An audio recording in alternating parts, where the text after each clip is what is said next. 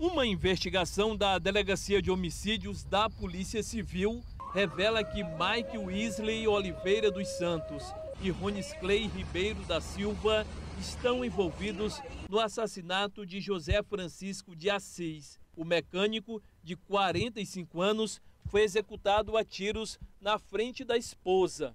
O crime aconteceu na tarde de 26 de novembro do ano passado, na chácara da vítima, localizada na Travessa Gonzaga, região do Belo Jardim. Nessas imagens de câmeras de monitoramento, é possível ver dois dos envolvidos no homicídio, o mecânico e a esposa dele, que tenta evitar a morte do marido. A exemplo do latrocínio do comerciante, os bandidos também exigiu uma arma.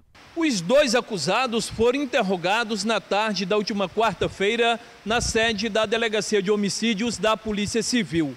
A dupla negou qualquer envolvimento no crime, mas as provas colhidas no curso da investigação apontam que Mike Weasley e Ronis Clay da Silva foram os autores do homicídio. Ficaram em silêncio a princípio, é, mas é, deram indicativo que sim, que estiveram naquela região e é sempre esse Mário naquela busca, seja para é, subtrair arma de fogo ou para retirar pessoas do bairro que eles imaginam ser de organização rival. O delegado Alcino Ferreira Júnior, coordenador da DHPP, falou também sobre a motivação do crime. Pelo que foi comentado extraoficialmente por um deles, é, a ideia era realmente o cometimento da própria execução e a, é, é, a posse, né, se apoderar dos armamentos que os mesmos mantinham, que eram uma pistola e um revólver.